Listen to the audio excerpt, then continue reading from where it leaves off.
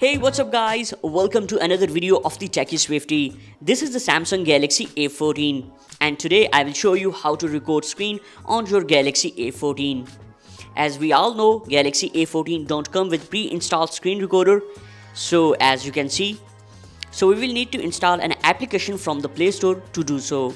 And don't worry I will guide you full and walk through. So open the Play Store first and here search for the X Recorder. I will give the name and the link of this application in the description of this video. Just make sure it should from InShot Developer. Now let's open it and install it. And finally after the installation open the X Recorder. First you will see a quick guide that how to use this application. Just tap got it. And here you can enable or disable the floating icon. I will recommend not to use this. Next give some permissions. And finally here is the dashboard of the X Recorder. Now to start recording your screen, just tap this record icon that you will see at bottom right. Now again give some permissions and then tap OK. And after that tap start now. And that's it. Now this application is recording your screen. Whatever you will do on the screen, it will record and save into the gallery. It's really easy. You can do what you want. Now if you want to stop recording, just drag the quick toggle or the notification panel and here you will see icon of stop. Just tap it to stop recording. And that's it.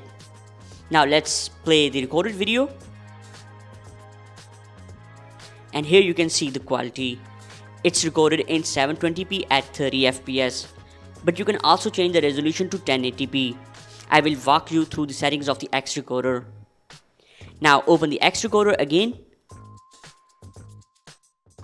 And go to the settings from bottom. And here are all the settings. The major one are video and the audio. Let's open the video settings. And here you can select the resolution up to 1080p and FPS up to 60. 90 and the 120 FPS are only for the pro users. Now let's go back and open the audio settings.